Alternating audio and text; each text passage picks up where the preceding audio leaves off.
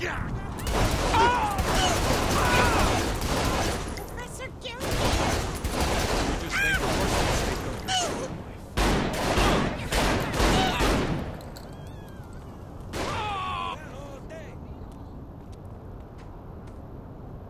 think you can handle this?